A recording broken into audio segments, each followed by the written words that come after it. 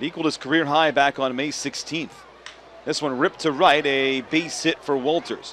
Moya will field it at the track. Wolters heading to second.